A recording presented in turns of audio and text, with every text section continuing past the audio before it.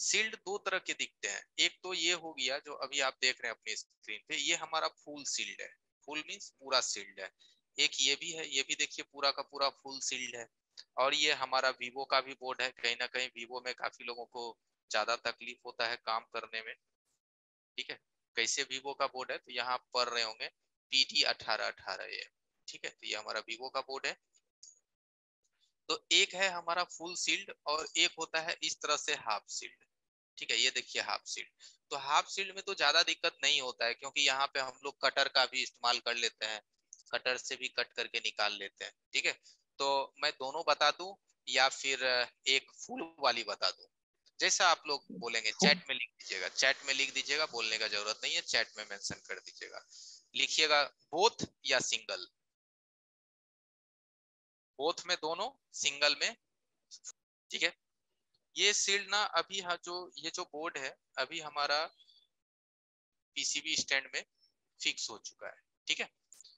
अब यहाँ पे करना क्या है कि देखिए इसमें ना ये ब्लैक ग्लू दिया गया है। आप देख पा रहे होंगे कि ब्लैक ग्लू इस सील्ड में दिया गया है। क्यों दिया गया है? तो क्योंकि अगर हमारा फ़ोन वाटर वगैरह में जाता है तो इसमें पानी का अंदर बहाव ना जाए, इसीलिए कंपनी ने इसको साइड साइड से थोड़ा बंद कर दिया। तो हम सबसे पहले इस ग्लू को साफ़ कर लेंगे, ठीक है? ये ग्लू को हम पहले यहाँ से साफ़ कर लेंगे। इसको साफ़ करने के लिए आप ट्विजर का नोक भी ले सकते हैं। ये जो ट्विजर है ना, ये ट्विजर की नोक भी ले सकते हैं। और इसको गर्म करना है 240 की टेम्परेचर से। कितना? 240 240 का टेम्परेचर होगा और चार का एयर होगा। ठीक है? देखिए, मैं सबसे पहले यहाँ से ना इस ब्लैक ग्लू को हटाता हूँ। देखिए, ये आराम से प्यार मोहब्बत से निकल रहा है। ठीक है? कोई ज़ोर ज़बरदस्ती है? आप देखते जाइए। यही वाला ग्लू रहता है हमारे किसमें? चार्जिंग पिन में जो आप वीवो का चार्जिंग पिन वगैरह बदलते होंगे ना तो उसमें भी ये ग्लू दिया हुआ रहता है। देखिए कितना आसानी से ये निकलता है। बिना हीट किए ये हटेगा नहीं। अगर हम इसको हल्का सा हीट करेंगे, ये एकदम मस्ती में निकलता जाएगा। ठीक है? देखिए, हमारा क्या हुआ, यहाँ से ना पहले सारा ग्लू को हमने खत्म कर लिया। यहाँ भी ग्लू लगी हुई है तो इसको भी हम हल्का सा कट कर लेंगे। सील्ड के जर में। ओके? तो आप समझ गए होंगे कि हमने क्या किया पहले? ब्लैक ग्लू को यहाँ से कमज़ोर किया। उसके बाद नेक्स्ट क्या करना है? ये जो साइड है ना, इस साइड में 11 नंबर ब्लेड इस तरह से हल्का हल्का चलाने हैं। 11 नंबर ब्लेड।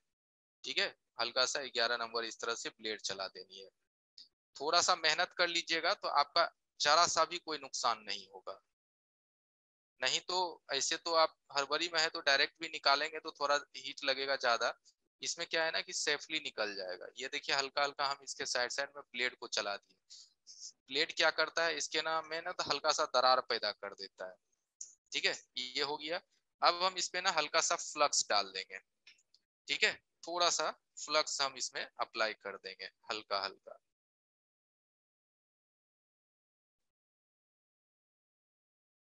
अगर ना निकले तो आप 320 भी अपना टेम्परेचर कर सकते हैं मैक्सिमम था 320 ठीक है?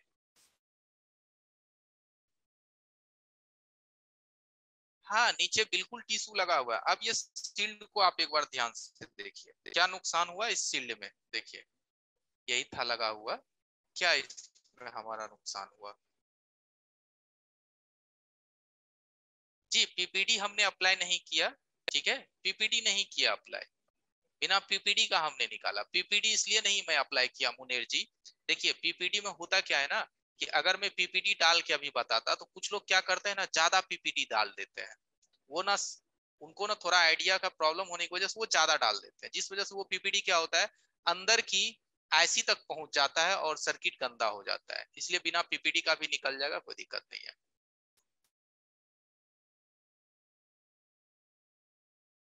हरी जी, अंदर जो आईसी लगा हुआ है, वो मैं अब आपको दिखाता हूँ कि अंदर हमारा ये आईसी लगा हुआ था, ठीक है? ये सब सारी आईसी अंदर लगे हुए थे। अब आप देख सकते हैं कि किस आईसी में प्रॉब्लम आया है, ठीक है? अब आप देख सकते हैं क्या हमारा यहाँ डब्ल्यू में कोई प्रॉब्लम है? कोई बॉल हमारा बाहर निकला है? मैं क्लीन करके आपको दिखाता हूँ। देखिए, क्या इस डब्ल्यू में कोई दिक्कत है? कोई बॉल ऐसा लगता है कि बाहर फेंक दिया है सर, इसका तो बॉल बाहर निकल गया। यहाँ तक छोड़िए ना, यहाँ देखिए, ये ब्लैक जो लंबी वाली फोर ऐसी है, इसके अंदर से देखिए, कोई बॉल बाहर निकला है, कोई बॉल या पीपीडी बाहर निकला ध्यान से देखिए, इसका ग्लू मैंने यहाँ कट किया था, क्योंकि यहाँ सील्ड जो है वो ज्वाइंट था, ठीक है? इसको मैंने कट किया है, इसको, तभी। जी, बिल्कुल लगा सकते हैं, ठीक है? ध्यान से देखिए कि हमारा क्या इस आईसी का एक भी कोई बॉल बाहर फटा, बॉल बाहर निकला, जैसे आप लोग नहीं गर्म करते हैं तो अंदर से बॉल फट के बाहर निकल जाता है।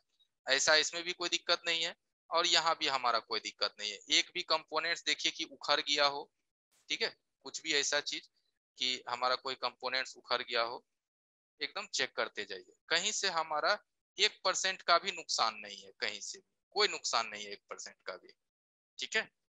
देखते जाइए। कहीं से भी एक परसेंट का कोई नुकसान नहीं है। ठीक है? तो ये एक प्रोसीजर है आपके सील्ड को बाहर करने का, जो कि हमारा क्या है? हाफ़ नहीं फुल सील्ड है और आराम से निकल गया, कोई दिक्कत इसमें हमें नहीं आया, ठीक है? अब मैं दिखाता हूँ आपको फुल जो हाफ़ सील्ड है उसको। हाफ़ सील्ड इससे ज़्यादा आसान है।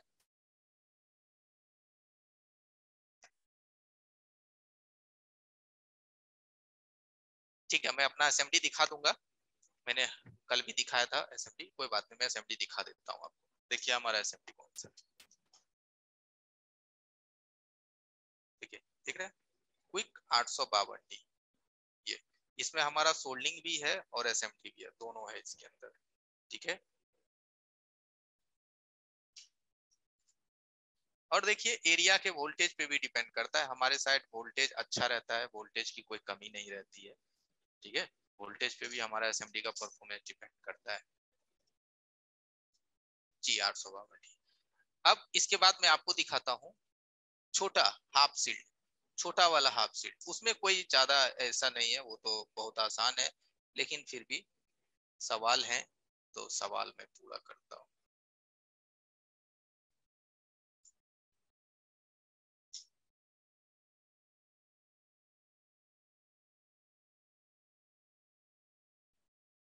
ठीक है? देखिए ऐसी एकदम परफेक्ट क्लीन है। इस तरह से सफ़ाई कर लेना है। ऑलरेडी मैंने इसको टिश्यू पेपर पे डाल रखा है। ठीक है? ऑलरेडी इसको मैंने टिश्यू पेपर पे डाल रखा है। समर घोराई जी पूछ रहे हैं सर आपका साउंड बहुत ही लो आ रहा है। आ, क्या जय किशन जी वाकई ही साउंड बहुत ही लो है? सही है सर सही आ रहा है सर। ओके घोराई जी तरफ़ से कोई इश्यू होगा सर हाँ मेरे साइड से कोई दिक्कत नहीं है समर जी। आप ना एक बार जरा सा अपना हेडफोन वगैरह देखिए। सब ठीक ठाक तो है कि नहीं? या कान में लगा हुआ है या फिर नीचे है? थोड़ा ध्यान दीजिए। मैसेज में लिखिए साउंड सही हुआ या नहीं। सबकी प्रॉब्लम हमें समझने हैं कोई दिक्कत नहीं है। साउंड फिर भी कम है तो मुझे बताइए समर जी। चैट में लिखिए ठीक है या नहीं है?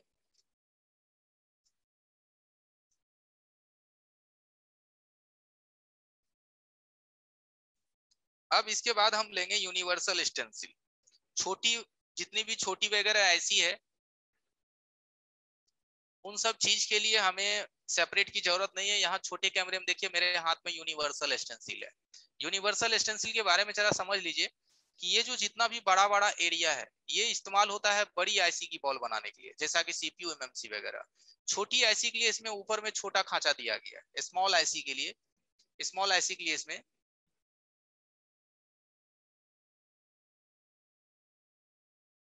राजेश जी पूछ रहे हैं, मेरा लाइफ में डिसोल्डर वायर ठीक से यूज़ नहीं कर पाया। क्यों राजेश जी? क्यों नहीं यूज़ कर पाए? अभी आप यूज़ कीजिए। दिक्कत हो रहा है तो डिसोल्डर वायर कौन सा क्वालिटी इस्तेमाल करना है, इस पे भी डिपेंड करता है, ठीक है? डिसोल्डर वायर की क्वालिटी मार्केट में घटिया से घटिया अवेलेबल है बीस तीस रुपए में।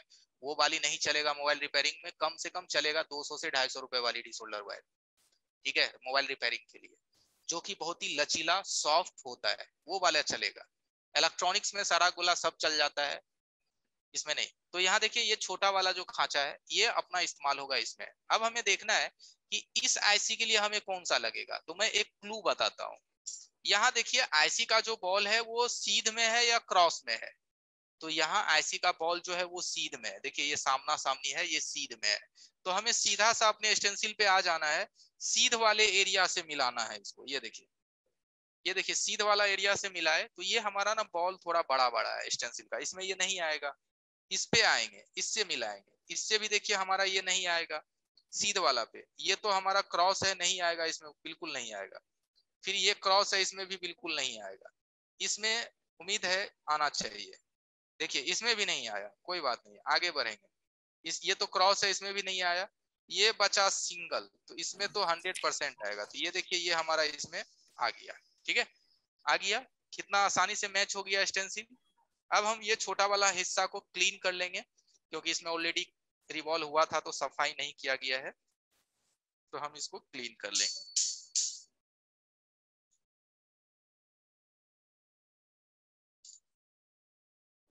ठीक है?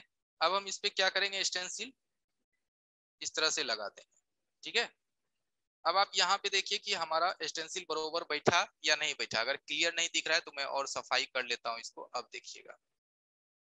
यूनिवर्सल स्टेंसिल में क्या होता है ना एक्स्ट्रा बॉल बनते हैं, स्टेंसिल क्लीन कैसे करते हैं तो जो आपका ना क्लीनर है, जो आप अच्छी क्वालिटी का क्लीनर इस्तेमाल करते हैं, उस क्लीनर को इस ब्रश पे ले लीजिए और स्टेंसिल के बॉल में ऐसे ऐसे करके मार के हल्का सा झाड़ दीजिए, हल्का सा उसको फ्लिप कर दीजिए, ऐसे ठोक दीजिए, थोड़ा सा वो निकल जाएगा। बहुत ज़्यादा नहीं ठोकना नहीं तो टेढ़ा हो जाएगा, हल्का सा मारेंगे, निकल जाएगा, ठीक है? आसानी से साफ़ हो जाता है। क्लीनर बेस्ट क्वालिटी का होना चाहिए।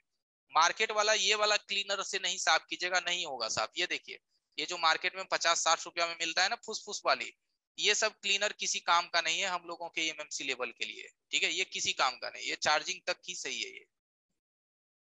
ठीक है? तो क्लीनर आपका बेस्ट होना चाहिए।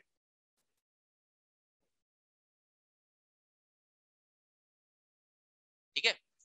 हमने क्या ध्यान देना है कि जब हमारा आईसी लग जाता है तो सबसे पहला इंडिकेशन आईसी हमें क्या देता है, समझिएगा। इसके अंदर जो हम फ्लक्स डालते थे ना शुरू में जो आईसी लगाने के लिए, अभी, वो फ्लक्स क्या होगा? ऑटोमेटिक आईसी के चारों साइड आ जाएगा और वो चारों साइड बबल होने लगेगा, यानी कि बबलिंग करने लगेगा, यानी बाहर निकलने लगेगा। वही हमें बता देता है कि हमारा आईसी लग गया। दूसरा, उसको हम श्योर करने के लिए कंफर्म करने के लिए हम आईसी को ट्विजर से हल्का सा हिलाते हैं। तो आईसी हिलता है और पुनः अपने स्थान पे आ जाता है।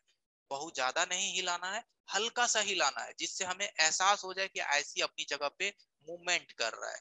हिल रहा है और वापिस आ रहा है, हिल रहा है, वापिस आ रहा है। तो ये दो चीज़ हमें हंड्रेड परसेंट श्योर कर देता है कि आईसी लग चुका है, क्योंकि आईसी के नीचे हम कोई कैमरा नहीं लगा सकते कि भैया सारा बॉल जुटा या नहीं जुटा। ये सारा बॉल इसमें हंड्रेड परसेंट जुड़ा हुआ है। ये मुझे विश्वास है। क्यों विश्वास है?